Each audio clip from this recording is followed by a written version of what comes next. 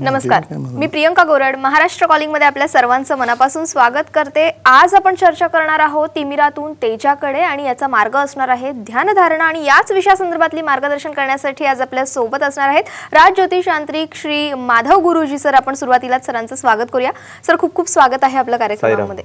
खरं म्हणजे मेडिटेशनची गरज आहेच मात्र नेमकी ही मेडिटेशनची गरज का भासायला लागली आहे? याचं कारण जाणून घेणं देखील तितकंच महत्त्वाचं आहे आणि खरं म्हणजे या कार्यक्रमाअंतर्गत आपल्याला या सगळ्याच विषयावर चर्चा करायची आहे. मात्र कार्यक्रमाला सुरुवात करण्याआधी आपण सरांची थोडक्यात ओळख करून घेऊयात. माधव गुरुजी हे साक्षात राजज्योतिष यांत्रिक असून भविष्यशास्त्रातील सर्व शाखांचा सोळा वर्षांचा अभ्यासक्रम त्यांनी पूर्ण केलेला आहे. गुरुजी बहिरा कासार यांचे ते सातवे वंशज असून गेले साडेतीनशे वर्ष गुरुजींच्या घराण्यामध्ये ॲस्ट्रॉलॉजी मार्गदर्शनाची परंपरा आहे. लौकिक शिक्षणामध्ये कायद्याची degree B L S L L B त्यांनी प्राप्त केलेली आहे. गुरुजींची प्रतिभा ॲस्ट्रॉलॉजिकल रिसर्च सेंटर नावाने दादर आणि पनवेल या ठिकाणी कार्यालय आहे. त्याचप्रमाणे श्री स्वामी समर्थ यांच्या पदस्पर्शाने पावन झालेल्या पळसदरी मठामध्ये दर गुरुवारी निशुल्क असं मार्गदर्शनाची परंपरा अविरतपणे सुरू आहे. त्याचबरोबर सूक्ष्म सिद्धीच्या माध्यमातून पुनर्जन्मातील कर्मांचे सूक्ष्म रिडिंग करून अनेक परिवारांचं भविष्य उज्ज्वल झालेलं आहे. गुरुजींची राधेय फाउंडेशन नावाची स्वतःची ट्रस्ट असून गुरुजी स्वतः त्याचे अध्यक्ष आहेत. राधा माधव नावाने गुरुजींचे वधूवर सूचक केंद्र देखील आहेत. खरं म्हणजे या सगळ्याच गोष्टी विषयासंदर्भातली आपल्याला चर्चा सुरू करायची आहे सरांबरोबर. मात्र तुमच्या मनात जर का काही प्रश्न असेल काही शंका असेल जरूर फोन करा. शून्य दोन दोन सहा सहा आठ चार तीन तीन तीन तीन हा आमचा स्टुडिओ क्रमांक आहे.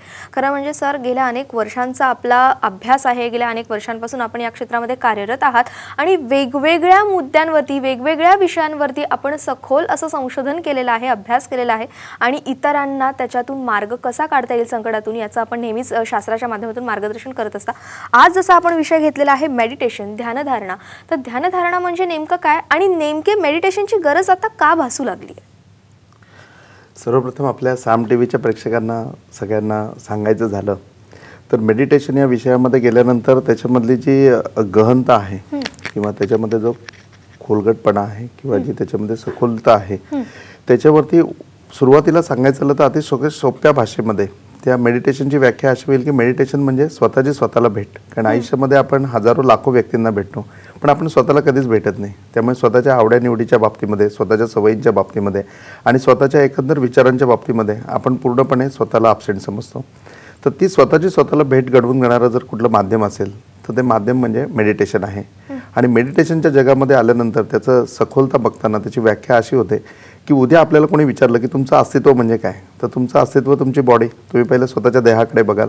नंतर तुमचं नाव. कारण मी या नावाने आहे. आणि मग नंतर आपल्याला असलेले रिलेशन म्हणजे मी याचा मुलगा आहे त्याचा हे माझे वडील आहेत किंवा या ही माझी बहीण आहे तिचा मी भाऊ आहे किंवा ह्याची मी पत्नी आहे त्याचा मी पती आहे.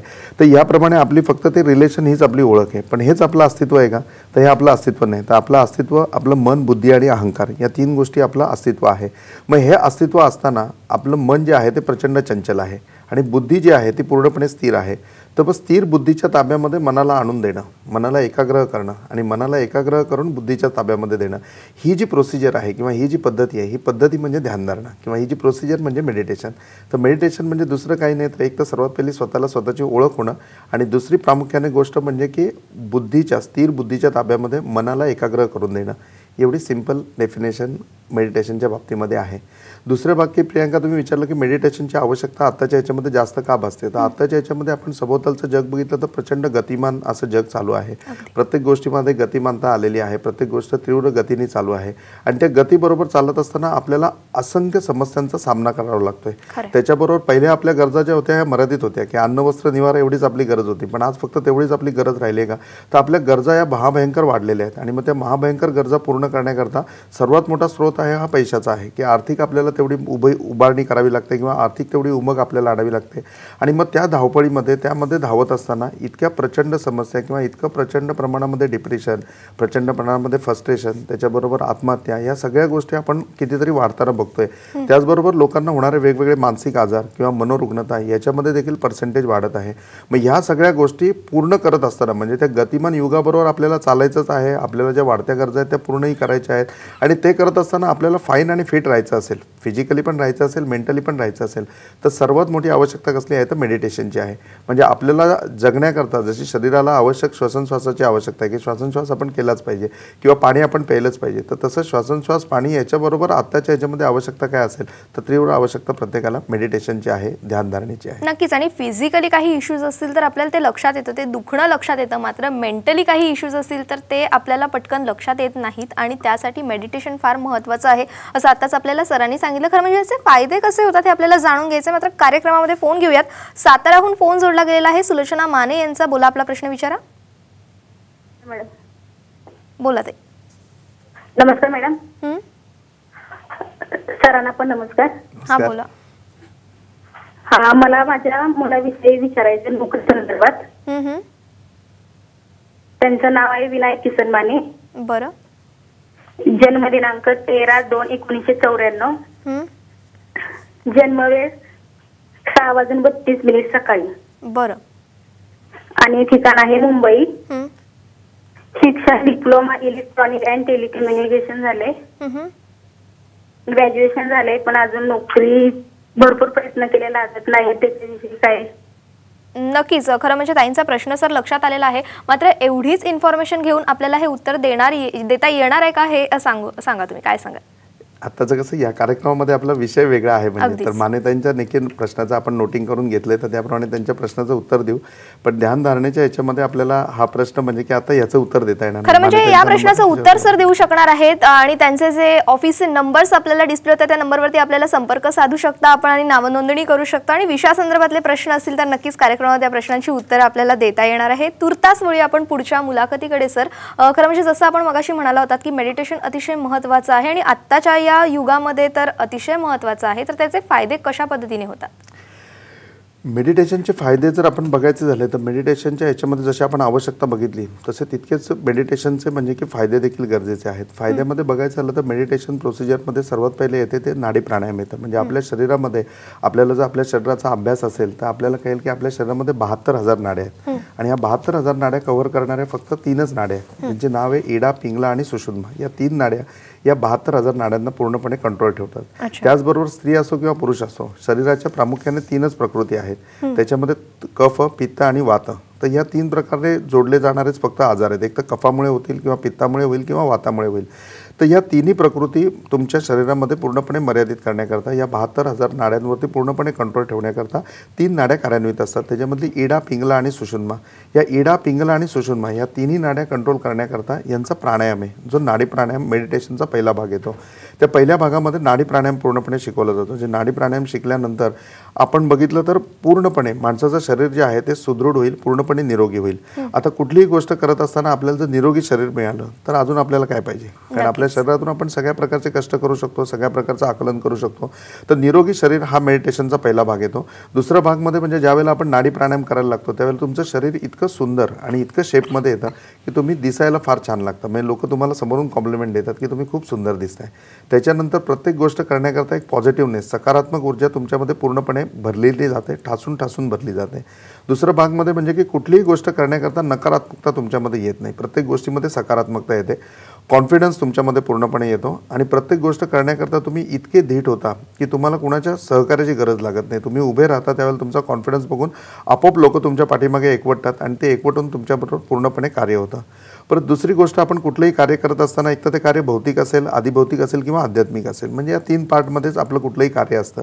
हे कार्य पार पडण्याकरता आपल्याला तीन प्रकारच्या पॉवर लागतात. एक पॉवर लागते मनी पॉवर दुसरी पॉवर लागते मसल पॉवर आणि तिसरी पॉवर आपल्याला जी याच्यामध्ये कार्यरत असते ती म्हणजे मॅन पॉवर म्हणजे तुमच्या पाठीमागे माणसं असली पाहिजेत तुमच्याकडे बळ असलं पाहिजे आणि तिसरी गोष्ट हे सगळं करण्याकरता पैसा असायला पाहिजे. तर या तिन्ही प्रकारच्या शक्ती आहेत या तिन्ही प्रकारच्या ज्या पॉवर्स आहेत या तिन्ही प्रकारच्या पॉवर्स तुमच्यामध्ये एकवटण्याकरता तुमच्यामध्ये एक चुंबकीय व्यक्तिमत्व म्हणजे मॅग्नेटिक पॉवर यायला लागते. ही मॅग्नेटिक पॉवर तुमची पूर्णपणे मेडिटेशनमुळे डेव्हलप होते. त्यामुळे मेडिटेशनचे फायदे तुम्ही बघाल तर एक तर मॅग्नेटिक पॉवर तुमच्यामध्ये प्रचंड वाढते सौंदर्य तुमच्यामध्ये येतं तुम्ही निरोगी होता ह्याच्याबरोबर तुम्ही सुखी होत नाही तर तुम्ही समृद्ध होता. एकदा तुम्ही समृद्ध झाल्यानंतर सुख ही त्याच्यामधली एक गोष्ट राहते. इतकी समृद्धता येते की तुमच्या सहवासातली लोक तुमच्या कुटुंबातली लोक तुमच्यामुळे सुखी व्हायला लागतात. तर असा समृद्ध करणारा जो मार्ग असेल तो मेडिटेशन आहे.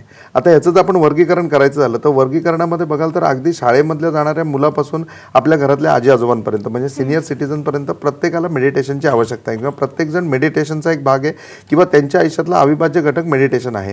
कारण वर्गीकरणामध्ये आपण केलं तर शालेय विद्यार्थी जसं विद्यार्थी विद्यार्थी नाही असतील तर यांच्यामध्ये एक समस्या असते. कारण माझी स्वतःची C B S E school आहे तर त्याच्यामध्ये देखील स्टुडंट आहेत. त्यांचंही मी रेग्युलर फॉलोअप घेत असतो. त्याचबरोबर वेगवेगळ्या शाळांमध्ये जाऊन मी अजून आतापर्यंत पन्नास मेडिटेशनचे कार्यक्रम केलेले आहेत. त्याच्यामुळे त्या ठिकाणी गेल्यानंतर त्यांच्या विद्यार्थ्यांच्या ज्या समस्या आहेत त्या जाणून घेतल्या. तर विद्यार्थी विद्यार्थी दशेमध्ये फक्त एकच समस्या असते की ते खूप चंचल असतात. बिलकुल त्याच्यामध्ये एकाग्रता त्यांच्यामध्ये नसते.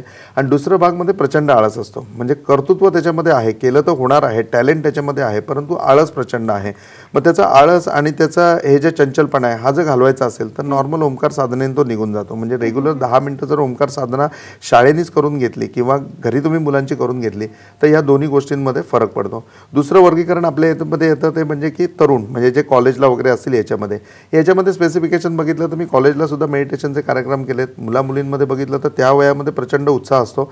फक्त कॉन्फिडन्स असतो तो ओव्हर कॉन्फिडन्स असतो. म्हणजे जसं high B P low B P आहे तसं कॉन्फिडन्समध्ये कॉन्फिडन्स असतो एक ओव्हर कॉन्फिडन्स असतो. ओव्हर कॉन्फिडन्स हा कधी लाभदायक नसतो. म्हणजे की त्याच्यामध्ये तुम्ही म्हणतात ना की तो हवेतून चाललाय. तर तसं सगळं हवेतून चाललेलं असतं. तर हा ओव्हर कॉन्फिडन्स तुमचा न राहता तो कॉन्फिडन्समध्ये कन्वर्ट होण्याकरता तरुणांना जर कुठली गरज असेल तर डेफिनेट मेडिटेशनची गरज आहे. थोडं आपण मध्यम एजला आलो की तीस पस्तीसमध्ये आपल्याला जे मिळतात ते सगळे करिअरिस्ट लोक मिळतात. की त्यांना करिअर करायचं आहे स्वतःचं. कुठेतरी प्रमोशन हवं आहे कुणाला तरी पुन्हा एज्युकेशन चालू करायचं आहे आणि हे सगळं करत असताना दैनंदिन ज्या गरजा म्हणजे प्रत्येक समाजाच्या वाटेवरती की लग्न झालेलं आहे मुलं आहेत मग त्या सगळ्या पूर्ण करत असताना मला हे झेपेल की नाही हे सर्वात मोठं कारण त्यांच्यासमोर असतं. आणि मग ते चालू करता येत नाही त्यामुळे ते येणारं फ्रस्ट्रेशन त्याच्यामध्ये येणारं डिप्रेशन ह्या गोष्टी जर अवॉइड करायच्या असतील तर डेफिनेट त्या वर्गामध्ये सुद्धा मेडिटेशनची आवश्यकता आहे. मेडिटेशन केल्यामुळे डेफिनेटली त्यांना जो गोल अचीव करायचा आहे तो गोल अचीव करू शकतील. मग त्याच्यानंतर येतात आपले सिनियर सिटीजन आपले आजी आजोबा. त्यांच्यामध्ये बघाल तर त्या वयामध्ये गोळीवरच जीवन चालू असतं. कुणाला हाय बी पी आहे कुणाला लो बी पी आहे कुणाला दम्याचा त्रास आहे किंवा कुणाला याच्यामध्ये संधिवाताचा त्रास आहे. तर असे वेगवेगळे त्रास असतील. तर त्यावेळेला निश्चितपणे तुम्ही मेडिटेशन केलं. तर मेडिटेशनमध्ये जी ध्यानधारणामध्ये प्रॉपरली आपण नाडी प्राणायाम शिकवतो त्या नाडी प्राणायामने पूर्णपणे तुमचं शरीर निरोगी होतं. तुमच्या ज्या रोगांच्या गोळ्या चालू आहेत तर त्या गोळ्यासुद्धा पूर्णपणे बंद होऊ शकतात आणि निरोगी आणि एक सुंदर असं जीवन तुम्ही जागू शकता. तर याचा प्रमुखप्रमाणे ह्या वर्गीकरणामध्ये जसा सगळ्यांना फायदा आहे की मेडिटेशनचे सगळे भाग आहेत किंवा यांच्या सगळ्यांच्या आयुष्यातला अविभाज्य घटक कुठला असेल तर तो मेडिटेशन आहे. हे मेडिटेशनचे फायदे आहेत. खरं म्हणजे वयोगटाप्रमाणे सर जे आपण समजावून सांगितलं ना हे अगदी प्रत्येक प्रेक्षकाच्या लक्षात आलं असेल. कारण आजकालचं कम्युनिकेशन गॅपमुळे खरं म्हणजे संवाद होत नाही घरातल्या घरामध्ये. आणि त्याच्यामुळे अनेक वेळेला लहान मुलं देखील चुकतात आणि मोठी माणसं देखील लहान मुलांसारखी वागायला सुरुवात करतात. आणि या सगळ्या गोष्टी घडू नये. त्यासाठी आत्ता सरांनी सांगितल्याप्रमाणे मेडिटेशन फार महत्त्वाचं आहे. सर थोडा वेगळा एक प्रश्न विचारते की जसं आता आपण म्हणालात की अनेक शाळांमध्ये आपण मेडिटेशनसाठी जात असता स्वतःची शाळा आहे त्यामध्ये देखील रेग्युलर जाता. मात्र आजचा कार्यक्रम बघणारे जे काही प्रेक्षक असतील जे वयोगट तुम्ही सांगितलं हे वयोगटाची सगळी लोक एका सोसायटीमध्ये तुम्हाला मिळू शकतील. तर एखाद्या सोसायटीमधल्या जर का संपूर्ण टीमला तुम्हाला तिथे बोलवायचं असेल आणि तुमच्याकडनं मेडिटेशन करून घ्यायचं असेल तर ती प्रोसेस कशा पद्धतीची असेल आणि तुम्ही तिथे जाल का? सिम्पली मॅडम मेडिटेशनचा हा एक ध्यास आहे. म्हणजे मेडिटेशनच्या कार्यक्रमामध्ये साम टी व्हीने हा घेण्याचा भाग असं झाला की त्यावेळेला मी सांगितलं की हे मेडिटेशनचं एक आपण आंदोलन छेडलेलं आहे. आपल्याला प्रत्येक माणसाला समृद्ध करायचं आहे सुखी नाही करायचं समृद्ध करायचं आहे की तो माणूस असा आहे की लोकांच्या आयुष्यामध्ये तो गेल्यानंतर परीस म्हणून जायला पाहिजे. कोणी त्याच्या सहवासातील त्याचं प्रत्येकाचं सोनं व्हायला पाहिजे. तर त्याच्या माध्यमातून प्रत्येकाला सुखी करण्याकरता त्याला समृद्ध करण्याचा हा धसाच आम्ही घेतलेला आहे. म्हणजे की ह्या याच्यामध्ये हे आंदोलन म्हणून आम्ही घेतलं आहे आज साम टी व्ही त्याच्यामध्ये जसं सामील झालं तसं साम टी व्हीच्या सगळ्या प्रेक्षकांनी व्हावं.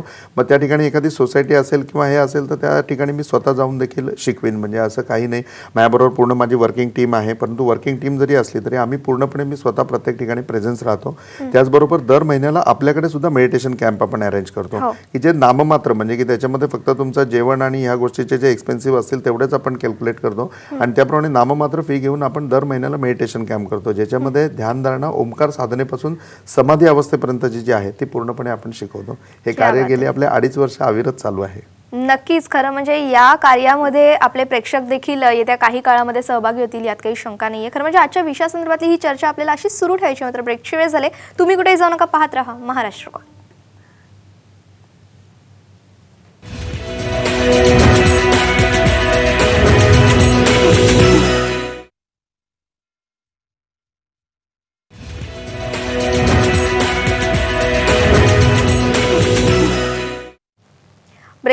महाराष्ट्र कॉलिंगमध्ये आपलं पुन्हा एकदा मनापासून स्वागत करते. खरं म्हणजे ध्यानधारणा meditation बद्दल आपण आजची ही चर्चा करतोय. गुरुजी यामध्ये बद्दल किंवा meditation बद्दल अनेकांच्या मनामध्ये शंका असतात. समज गैरसमज निर्माण झालेले आहेत. ते खरे आहेत का? प्रियंका सर्वात पहिली गोष्ट सांगायची झाली ना तर मेडिटेशन हा राजमार्ग आहे. मेडिटेशन हा सर्वात सोपा आणि सुलभ आयुष्य म्हणजे समृद्ध आयुष्य करणारा मार्ग आहे. परंतु याचा प्रचार आणि प्रसार हा झालाच नाही असं धरलं तरी चालेल. तर प्रचार आणि प्रसार झाला नाही त्यामुळे त्याबाबतच्या असंख्य शंका कुशंका प्रत्येकाच्या मनामध्ये आहेत. दुसरी गोष्ट म्हणजे की प्रचार पुढचा निघाला नसला की नॉर्मली त्याच्याबद्दलचं पूर्ण ज्ञान माणसाला मिळालेलं नसतं. आणि ज्ञान मिळालं नसलं की त्याच्यामध्ये चार फॅक्टर प्रत्येकाच्या मनामध्ये राहतात. एक मध्ये म्हणजे की वेळ. दुसरं म्हणजे की त्याची पद्धती. तिसरी गोष्ट म्हणजे आहार. आणि चौथं म्हणजे की त्याबद्दलचं अज्ञान. याच्यामध्ये जर आपण बघायचं झालं तर पूर्णपणे प्रत्येक माणसाला विचारलं की मेडिटेशनला किती वेळ लागेल काय लागेल हे पहिलं ते विचारतात की रोज मला किती वेळ करावा लागेल मग मी तेवढा वेळ देईन का ही त्यांची पहिली समस्या असते. दुसरं समस्या प्रत्येकाला असं वाटतं की हा फक्त आध्यात्मिक भाग आहे. म्हणजे की हा आध्यात्मिक अशी काहीतरी मोठी साधना आहे आणि मग ध्यानधारणा मेडिटेशन मग समाधी ते सगळे शब्द ऐकून माणूस इतका कन्फ्यूज होऊन जातो की त्याला सर्वात पहिले हा प्रश्न पडतो की हे मला झेपेल का? मग हे झेपेत असताना मी तेवढा सात्विक आहे का हा प्रत्येकजण पहिला विचार करतो. आणि मग सात्विकतेमध्ये त्यांचा पहिला प्रश्न येतो की बाबा माझा आहार आहे मी नॉनव्हेज आहे. मला नॉनव्हेज शिवाय जमत नाही. मग मला नॉनव्हेज सोडावं लागेल का? ही मोठी समस्या असते. काही लोक जॉबवरती किंवा मोठ्या हुद्द्यावरती असतील तर ते म्हणतात की मला ड्रिंकची हॅबिट नाही आहे पण हॅबिच्युअली मी ड्रिंक करतो. मग ड्रिंक केलेलं चालेल का? असे नाना प्रश्न त्यांच्या मनामध्ये असतात. म्हणजे ते आहाराच्या बाबतीमध्ये असतात की बाबा त्याच्यामध्ये मला काही चेंजेस आणावे लागतील का? तिसरी गोष्ट प्रत्येकजण आवर्जून विचारतो मला मेडिटेशन करायचं तर माझं घर एवढं छोटं आहे. माझं वन आर के फ्लॅट आहे. त्याच्यामध्ये आम्ही सहा जण राहतो. मग मला एवढा एकांत कसा मिळू शकतो? किंवा मला वेगळी रूम लागेल का? मला प्रायव्हसी कशी मिळू शकते? एवढे नाना प्रश्न त्यांच्या डोक्यामध्ये असतात. आणि या सगळ्या गैरसमजुती आहेत त्या केवळ प्रचार आणि प्रसारामुळे आहे. तर माझं सगळ्यांना या कार्यक्रमामधनं आव्हान आहे प्रेक्षकांना की मेडिटेशनचा तुम्ही जो बागलबुवा केला आहे ना तो विसरून जा. मेडिटेशन म्हणजे फक्त एवढंच आहे की तुमची तुम्हाला थेट भेट. आणि त्याच्याकरता कुठेही तुम्हाला वेगळी प्रायव्हसी काढायची गरज नाही. म्हणजे प्रियांका मी ज्यावेळेला शिकत होतो त्यावेळेला आमच्या गुरुजींना मी विचारलं की आपण एकांतात बसायला पाहिजे का? तर त्याच्यावरती ते म्हणले की असं नाही मेडिटेशन हे मार्ग यायचा आहे की मेले में अकेला और अकेले में मेला. म्हणजे जत्रेमध्ये तुम्ही असताना दहा हजार लोकांच्या बरोबर आहात आणि तुम्हाला मेडिटेशन येतं तर त्या क्षणाला त्या दहा हजार लोकांमधनं तुम्ही वेगळे होऊ शकता. दॅट इज मेडिटेशन आणि तुम्ही आत्ता एकटे बसलेला आहात तरी तुमच्या बाजूला दहा हजार लोक आहेत हा फील तुम्ही करू शकता. दॅट इज मेडिटेशन म्हणजे मेले में अकेला और अकेले में मेला. या दोन्ही गोष्टी जर पॉसिबल कशामध्ये असेल तर ते मेडिटेशनमध्ये आहेत. दुसरी गोष्ट म्हणजे की याच्यामध्ये तुम्हाला फक्त दहा मिनटं द्यायचे आहेत सकाळची दहा मिनटं द्यायची आहेत संध्याकाळची. याच्यामध्ये सुद्धा वेळेचं बंधन नाही की तुम्ही साडेतीन वाजताच उठून बसा तुम्ही पाच वाजताच करा तुम्ही सात वाजता करा.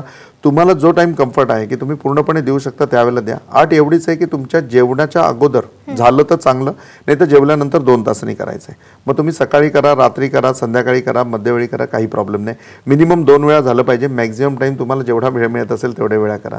तुम्हाला डेफिनेट याचा पूर्णपणे फायदा होईल.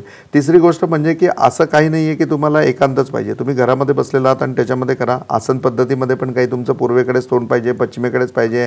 याच्यावरच बसा त्याच्यावरच बसा असं काही नाही. तुम्हाला खालती बोलता येत नसेल तुम्ही खुर्चीवर बसून करू शकता. सकाळी लवकर उठून तुम्ही बसता तर तुम्ही बेडवरती बसून करू शकता. काहीही प्रॉब्लेम नाही. म्हणजे उगाच त्या गोष्टींमध्ये म्हणजे की ह्या सगळ्या फॉर्मॅलिटी आणून तुम्ही तो मार्ग डिस्टर्ब करू नका. तुम्ही पूर्णपणे सिम्पली तो जेवढा सिम्पली आहे तेवढा सिम्पली घ्या. कारण याची परंपरा जी आहे ती खूप जुनी आहे. म्हणजे म्हणजे पहिल्यांदा मेडिटेशनचा मार्ग आपल्याला मिळाला तो आदिनारायणापासून मिळाला जो नाथपंथीयांनी पुढे आणला. दुसरा आपल्याला मिळाला तो कृष्णाने अर्जुनाला ज्यावेळेला गीता सांगितली त्यावेळेला मिळाला. आणि तिसरं म्हणजे भगवान गौतम महाबुद्धांनी जो कमलसूत्र ग्रंथ लिहिला त्या ह्याच्यामध्ये दिला. परंतु या प्रत्येक वेळेला काही ठिकाणी भाषेमुळे काही ठिकाणी याच्यामध्ये आणलेल्या या फॉर्मॅलिटीमुळे हा मार्ग जो आहे हा मार्ग दुथडी होत गेला. आणि त्यामुळे तो सिम्पली लोकांपर्यंत पोहोचला नाही. तर या कार्यक्रमाच्या माध्यमातून मी तुम्हाला सांगतो की मेडिटेशन हा अतिशय सिंपल पार्ट आहे. तुम्ही तो तेवढा सिम्पली घ्या. फक्त तुम्ही ते सातत्याने करा. तुमचं जीवन डेफिनेट समृद्ध होईल. नक्कीच आणि अनेकांचं जीवन सर आपण समृद्ध केलेलं आहे. या मेडिटेशनमुळे मेडिटेशनच्या सेमिनारमुळे तर सर हे मेडिटेशनचे सेमिनार केल्यामुळे नेमके कोणते सकारात्मक बदल आपल्याला जाणवले समोरच्या व्यक्तीमध्ये? याच्याबद्दल प्रियांका सांगायचं झालं ना तर जवळजवळ अडीच वर्ष झाले आपण हे मेडिटेशनचे कॅम्प करतोय. संख्या आपण ठेवली असती तर आतापर्यंत म्हणजे हजारो लोक आपल्याकडे मेडिटेशन करून गेलेले आहेत.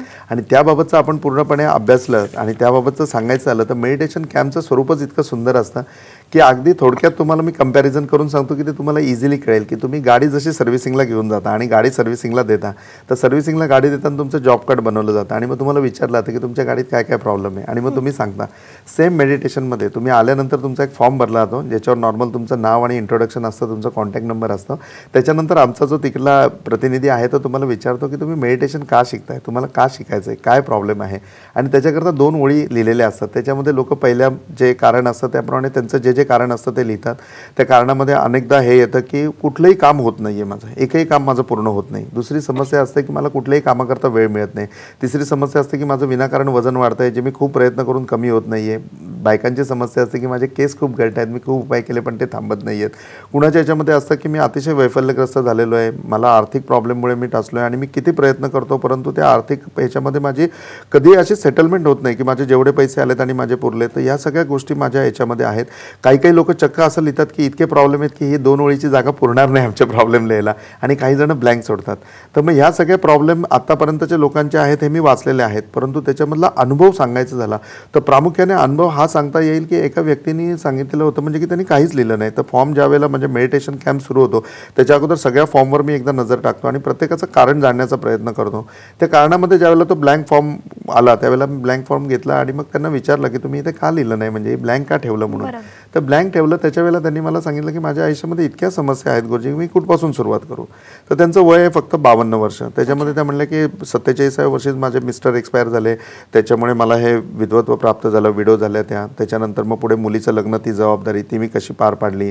त्यानंतर घरी मुलगा आहे तो वेल शिकलेला आहे चांगला एज्युकेटेड आहे परंतु तो जॉब करत नाही. आणि मग त्याच्यानंतर फक्त समस्या समस्या समस्या आहे. म्हणजे रुटीन लाईफ आहे की माझ्या मिस्टरांची एक फिनान्शियल लेवल मेंटेन होती त्यामुळे आम्हाला आर्थिक प्रॉब्लेम नाही. परंतु आहेत ते पैसे खर्च करायचे आणि फक्त हे जे रुटीन लाईफ आहे तेच जगायचं ह्याला मला प्रचंड कंटाळा आला आहे म्हणजे. आणि मी दहा लोकांमध्ये गेली तरीसुद्धा मला असं होतं की मी बोलू शकणार नाही किंवा मला असं पूर्ण गोंधळून गेल्यासारखं होतं. आणि ह्या सगळ्या कारणांचं मी काय दोन ओळीमध्ये कारणं लिहू तर मलाही हसायला आलं. म्हटलं ठीक आहे तुम्ही मेडिटेशन करा बाकी सगळं तुम्ही विसरा. आणि मग मेडिटेशन शिकल्यानंतर त्यांच्यामध्ये पहिल्याच आठवड्यामध्ये जे चेंज झाले की त्या अँड्रॉइड फोन वापरत होत्या पण कधी स्वतःचा डीपी ठेवत नव्हत्या. त्या डीपी ठेवायला लागल्या. डीपी ठेवल्याच्या नंतर म्हणजे की त्यांनी सगळ्यांनी त्यांना ज्या प्रतिक्रिया आल्या की तुझा डीपी खूप सुंदर आहे हे आहे ते आहे. त्यांनी तो मला शेअर केला. त्याच्यानंतर त्या स्वतः मार्केटमध्ये खरेदीला गेल्या. वेगवेगळ्या ट्रिप वगैरे त्यांनी जॉईनिंग केल्या. आणि दोन महिन्यामध्ये प्रियांका इतकी डेव्हलपमेंट झाली की त्यांनी स्वतः जीन्स पॅन्ट घातली आणि त्याच्यानंतर स्कर्ट टाईप शर्ट येतो तो घातला. आणि तो फोटो ज्या वेळेला त्यांनी डीपीला ठेवला त्यावेळेला त्यांना पुन्हा सगळ्यांनी प्रतिक्रिया दिल्या की तुम्ही खूप चांगले दिसताय खूप सुंदर आहात. आणि मग त्यांना तर एवढं असल्यानंतर त्यांनी मला तो मेसेज पाठवला की it is all of only because of you तर त्याच्यावर मी त्यांना सांगितलं की नाही not me it is because of meditation तर तो एक अनुभव मला खूप असा भावला. दुसरी गोष्ट म्हणजे की आवर्जून मेडिटेशनमध्ये आम्ही ज्यावेळेला नाडी प्राणायाम शिकवतो त्यावेळेला प्रत्येकालाही जाणीव करून देतो की तुम्ही खूप सुंदर दिसताय खूप छान दिसताय म्हणजे तुम्ही. तर त्याचं प्रत्येकाला त्याचा रिझल्ट मिळायला लागतो. म्हणजे ज्यावेळेला ते नाडी प्राणायाम रेग्युलर करतात त्यावेळेला त्यांचं शरीर इतकं सुदृढ एवढं निरोगी होतं आणि ते इतके सुंदर दिसायला लागतात की त्यांना त्या त्याप्रमाणे ज्यावेळेला प्रतिक्रिया मिळायला लागतात लोकांच्या समोरून त्यावेळेला ते अत्यंत खुश होतात. तर सुंदर दिसणं हा सुद्धा एक भाग त्याच्यामध्ये येतो. शरीर तुमचं सुदृढ होणं हाही भाग येतो. आणि कितीतरी लोकांची सांधेदुखी निघून गेलेली आहे किती लोकांची गुडघेदुखी निघून गेलेली आहे ज्यांना झोप येत नाही रात्री त्यांना व्यवस्थित झोप लागायला लागली आहे. अशा असंख्य गोष्टी आहेत की ज्या मेडिटेशनमुळे पॉसिबल झाल्यात. की जे रिझल्ट ऐकल्यानंतर पुन्हा एकदा नव्या जोमाने नव्या उभ्याने मी तयार राहतो आणि अगदी असं टार्गेट आहे की एक महिन्याचाच करायचा कॅम्प तो आपण महिन्यातून दोन वेळा किमान अरेंज करतो. नक्कीच. खरं म्हणजे आजच्या विषयासंदर्भात आपण छान मार्गदर्शन केलंच मात्र जाता जाता आपण प्रेक्षकांना काय सल्ला द्या जाता तर प्रेक्षकांना प्रियांका आवर्जून सांगेन मी की या आंदोलनाचे तुम्ही एक सहभागी व्हा आणि सहभागी होऊन या आंदोलनामध्ये पूर्णपणे स्वतःला समृद्ध करून घ्या. त्या समृद्धतेचा हा मार्ग पूर्णपणे मेडिटेशनचा आहे. दुसरा आव्हान या स्टेजवरनं मी आज तुम्हाला करतो की दोन फेब्रुवारीला आपला राधा माधव वधवर सूचक केंद्राचा भव्य परिचय मेळावा आहे. हा सर्व जातीय करता आहे. तर आपण सर्वांनी या भव्य परिचय मेळाव्याचा लाभ घ्या. हा एन डी स्टुडिओला आपण अरेंज केला आहे की जेणेकरून तिथल्या ॲटमॉस्फिअरमध्ये आल्यानंतर तुम्हाला यंदा कर्तव्य आहे ना तर दाटून इच्छा होईल की नाही यंदा कर्तव्य यंदा लग्न झालंच पाहिजे. तर निश्चितपणे त्या उपक्रमामध्ये मी तुम्हाला सगळ्यांना जाहीर आवाहन करतो की आज सर्व जाती आहे. आपण सगळ्यांनी याच्यामध्ये सहभागी होऊन आपला लग्नाचा जो मंगलमय प्रसंग आहे त्याची एक मुलाखत त्या ठिकाणी करावी. नक्कीच. खरं म्हणजे वर्षाच्या सुरुवातीलाच खूप छान असा विषय घेऊन सर आपण आलातच आणि इतकं छान आपल्या प्रेक्षकांना मार्गदर्शन केलं त्यासाठी खूप खूप धन्यवाद सर. साईराम. महाराष्ट्र कॉलिंगमध्ये आज वेळ झालेली आहे. इथेच थांबण्याची पुन्हा भेटणार आहोत. नवीन विषयासह अधिक माहितीसह आज मात्र आपल्या सर्वांची इथेच रजा घेते. नमस्कार.